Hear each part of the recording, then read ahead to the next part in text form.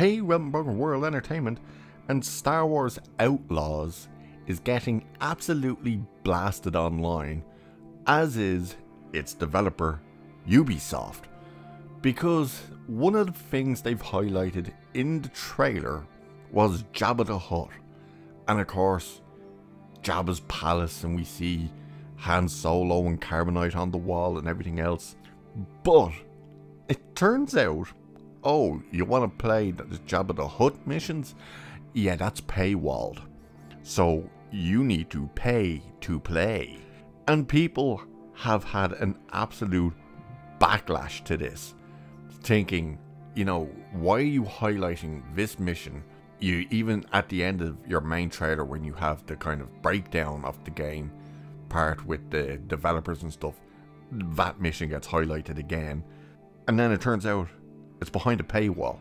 Well, Ubisoft has responded to this by essentially telling you, oh, don't worry, there's other Jabba missions, so you don't actually need to play this one, but you want to play this one, don't you?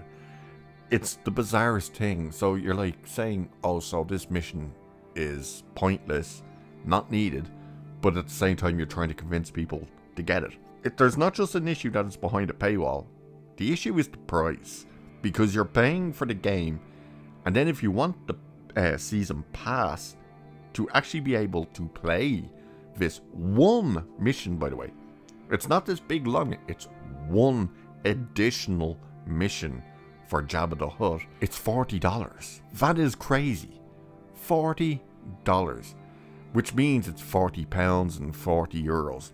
Because the price on the game stuff is literally the same across the board. If it's $70, then it's 70 pounds, 70 euros. And here's the thing. When it comes to the actual game, the prices are ridiculous. But let's have a look at what Ubisoft's actual spokesperson said to clarify what is actually going on with this Jabba paywall mission. So it said this, an Ubisoft spokesperson has responded to these comments and others because people went online and blasted them out, with, telling IGN of all places. To clarify, Jabba the Hutt and the Hutt Cartel are one of the main syndicates in Star Wars Outlaws and will be part of the experience for everyone who purchases the game regardless of edition. The Jabba the Hutt's Gambit mission is an optional, additional mission with the Hutt cartel along Kay and Nix's journey across the Outer Rim.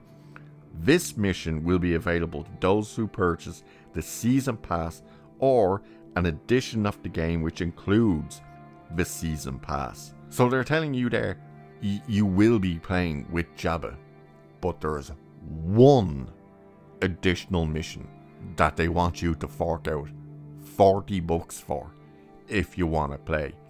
Or pay for the upgraded version of the game. And check this out. Here is the pricing of the game, which also has people up in arms.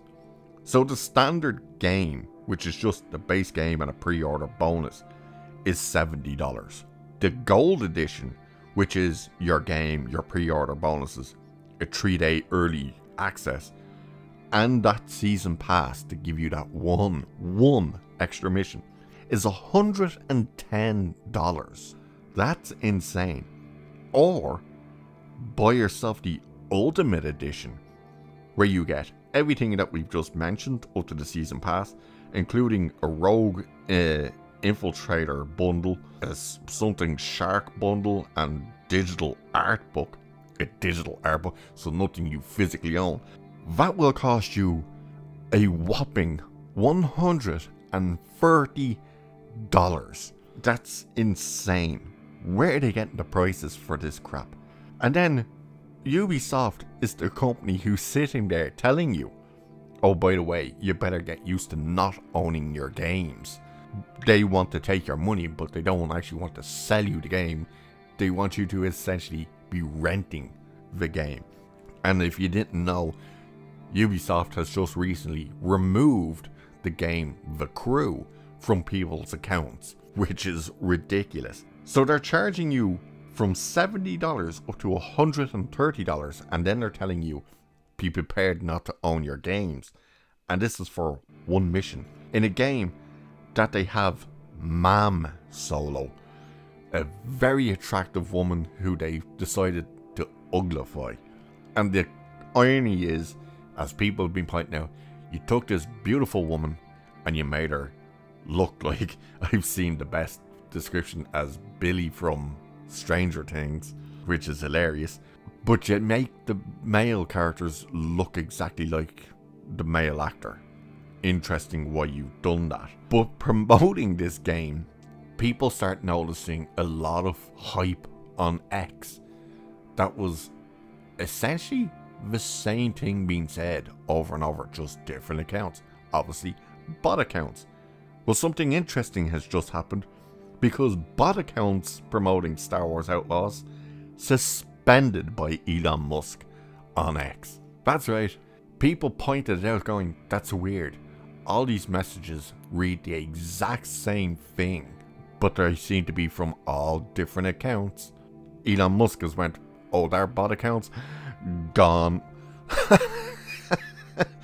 so, this game, it looks like it's going to struggle if the bot accounts are getting suspended. People are going up yours to Ubisoft for their, oh, you want to play one additional Jabba mission? Yeah, pay us either $40 for the season pass or give us $110 to $130 to play it. Whilst they're telling you you're not going to own your own games. Yeah. And the game has also been getting ratioed on both the Star Wars page and Ubisoft's page on YouTube. So this game looks like it's DOA. The cope for it is ridiculous, and the fact that Ubisoft are getting absolute roasted over their pricing and this season pass pay to play, yeah, it's not looking good for this. So, with that, I shall leave it there for this one. So like, share, subscribe, all that good stuff. And cheers, I'll catch you in the next one.